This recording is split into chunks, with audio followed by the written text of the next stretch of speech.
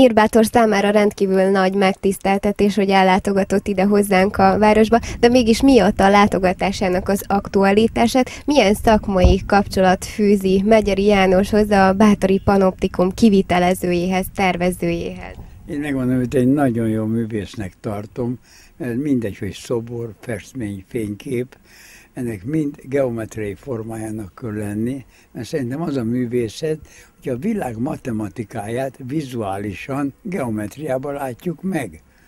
És itt mindent a kezek, meg akarom kérni, hogy csinálhatsa a kezekről felvételt, mert én tanítok, és meg akarom mutatni egy szobrász is, ha jó, annak is geometriai szöginek kellene, hogy leteszi a kezét, megfogja a kardot, vagy a bárdot, én minden kezet megnéztem, apukám azt mondta, rossz indulat akarsz lenni, nézd meg a kezeket, és a rossz, ne is törődj a képpel.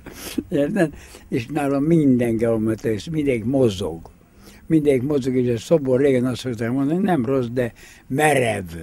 És igazuk volt, egy szobor nem mozog, akkor az merev. Fényképen nem mozog egy modell, az merev.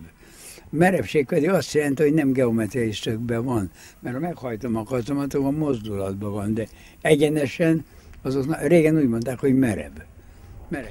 És most eddig egy jó festményre, fényképre azt mondják, hogy jó, akkor azt mondják, hogy formadús.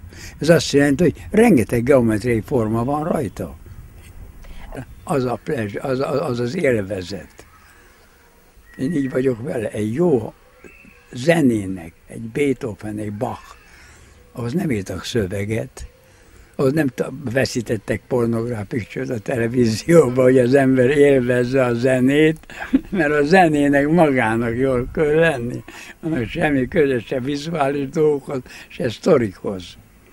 És a közeljövőben lehette már tudni, hogy mikor köszöntetjük ismét vendégeink közt majd itt Nyírbátorban? Hát édesem, János engem elhoz, akkor nagyon szívesen lejövök, mert itt mindenki olyan aranyos volt hozzám, hogy komolyan. És nem beszél való az, az apósom, az első feleségemnek a szapja, az Nyírbátorban volt főjegyző. Úgyhogy onnan tudok Nyírbátorról.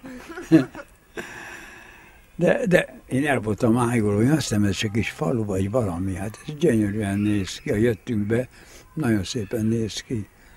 Úgy látszik, a televízióban csak azon lerobbant falukat mutatnak. ez nagyon szép ez a hely, és ahol keresztül is jöttünk, nagyon szépen néztek ki.